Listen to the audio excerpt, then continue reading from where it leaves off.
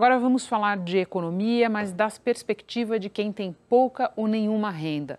No ano passado, o ano 1 da pandemia, 2 milhões e 200 mil brasileiros deixaram a condição de pobreza ou de extrema pobreza por causa do auxílio emergencial. Lembrando que o auxílio emergencial tinha data para acabar e acabou. O Bolsa Família, que era permanente, também acabou. E agora é preciso ver como exatamente vai ficar o Auxílio Brasil, recém-criado pelo governo.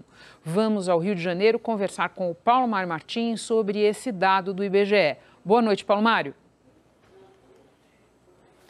Oi, Renata, boa noite para você, boa noite para todo mundo. Olha, a explicação para esse comportamento aí, segundo o IBGE, é o auxílio emergencial de 600 reais. Agora, sem os programas sociais, o rendimento da população mais pobre cairia, olha só, 75% no ano passado.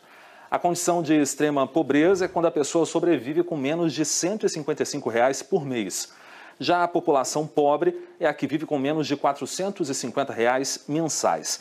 Essa faixa também diminuiu, mas ainda corresponde a um quarto dos brasileiros mais de 50 milhões de pessoas. Esse cenário seria ainda pior sem os benefícios sociais.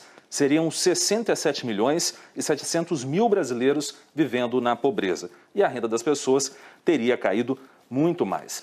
A gente conversou com alguns economistas que disseram que essa redução da pobreza foi momentânea e que agora é preciso ter políticas públicas capazes de tirar as pessoas dessa situação de forma definitiva.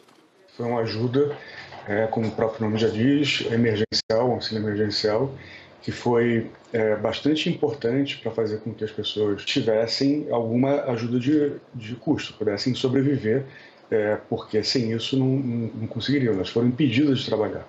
Né? É, agora é emergencial, a gente sabe que foi importante durante esse primeiro ano da pandemia, mas que não é sustentável do ponto de vista fiscal. A gente precisa de um, um programa que seja focado naqueles que de fato precisam dos recursos.